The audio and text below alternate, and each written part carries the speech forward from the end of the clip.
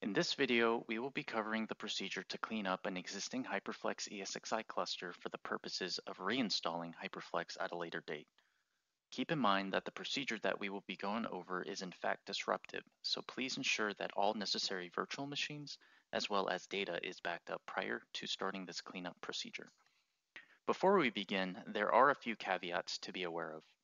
Since this procedure will involve a reinstallation of ESXi on all of your HyperFlex storage nodes, you will need to be aware of what type of VMware licenses are currently installed on the existing nodes. If traditional VMware licenses were installed, then you may proceed with this cleanup procedure. If your HyperFlex nodes were shipped with factory installed VMware licenses, please contact Cisco Technical Support for further guidance. If your HyperFlex nodes are equipped with self-encrypting drives or SED drives, do not proceed with this cleanup procedure and please reach out to Cisco Technical Support so that an alternate procedure can be performed. If you have a HX240M4 server, you will need to perform an extra step of deleting the storage controller virtual machine folder since the storage controller VM is located on a separate disk than the ESXi boot device. So navigate to your SpringPath data store.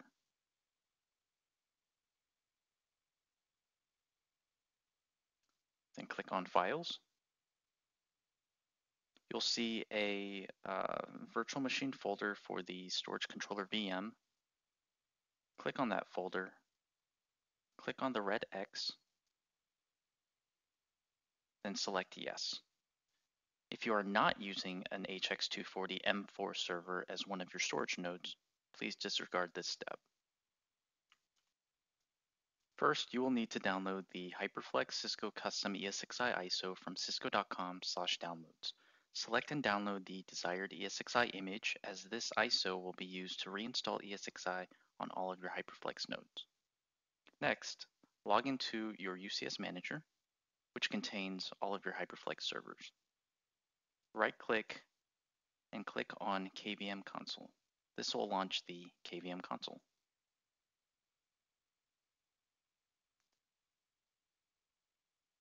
Once the KVM console is launched, click on Virtual Media, activate virtual devices,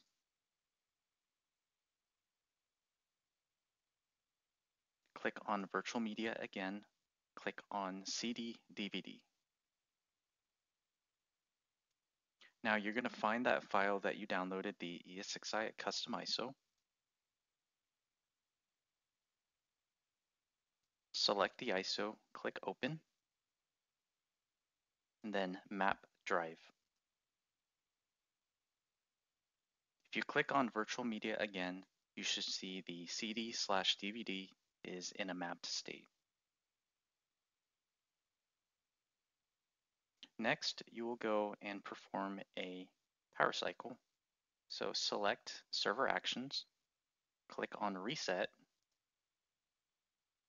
When you receive this pop-up, hit OK. Select power cycle,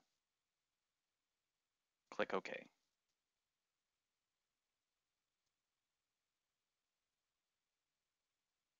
Do this for all of your Converge nodes.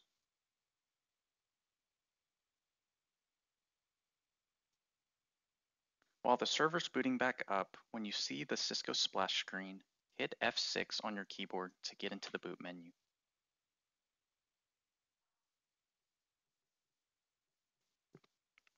Once the boot menu loads, you'll see the Cisco KVM mapped VDVD that we mounted earlier. Select that and hit enter. When the ISO is booted, you will see the following menu. Please note that proceeding any further is disruptive as the ISO will completely reinstall ESXi. Select the top option for HyperFlex Converge node. Hit enter. Then type erase in all caps to confirm that you understand that proceeding any further will be disruptive. Hit enter.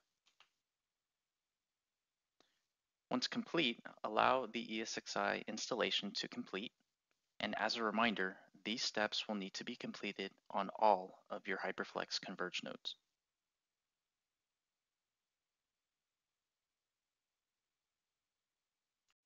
Once the ESXi reinstallation has completed on all of your Converge nodes, navigate to the Servers tab in UCSM, select the sub-organization that was initially created for HyperFlex, click on the Service Profiles tab, and then Associated Racks tab.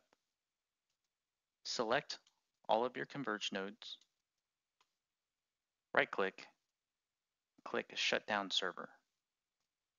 Leave all of the defaults in place, click OK.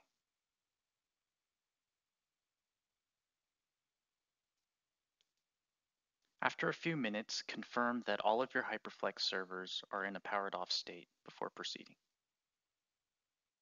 Next, we will perform a cleanup of the UCS configuration pertaining to our HyperFlex nodes. Click on the Server tab, navigate to your sub-organization previously created for HyperFlex, right-click on the suborg, click Delete. You'll get a pop-up notification. Click Yes.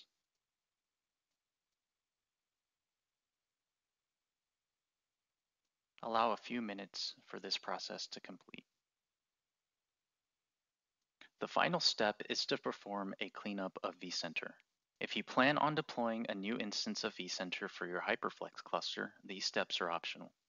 If you plan on using the same existing vCenter when you redeploy your HyperFlex cluster, you will need to perform the steps that we are going to cover now. As a caveat, if your vCenter is currently being used by multiple HyperFlex clusters, please do not proceed with these steps and contact Cisco technical support for further guidance. First, we will need to delete the existing vCenter cluster which was used for our HyperFlex nodes. Right-click on the cluster, click Delete. When you get this pop-up, click Yes. Allow a few minutes for this to complete.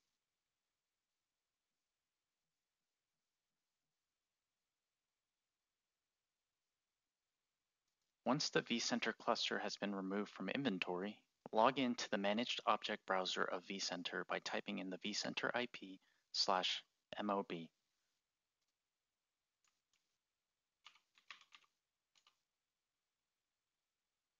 Once you log in to the Managed Object Database, click on Content.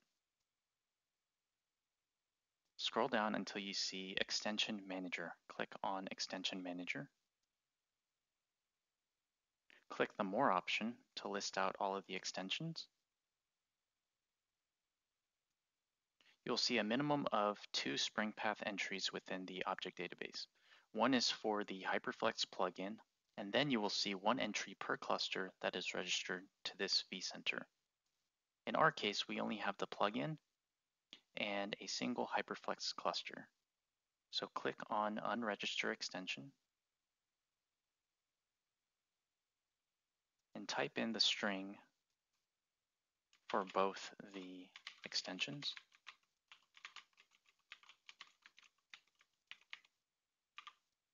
Once you've entered in the string, hit invoke method. Make sure you get a result that says void. Now I'm going to do the same thing for my plugin. Click invoke method. So click on refresh in your browser. Go back to extension manager. Click on the more option and verify that there are no SpringPath plugins present. Your HyperFlex cluster has now been cleaned up and you may begin reinstallation of HyperFlex from the on-prem installer or through your Intersight account. In this video, we have covered the procedure to clean up an existing HyperFlex ESXi cluster for the purposes of reinstalling HyperFlex. Thank you for watching.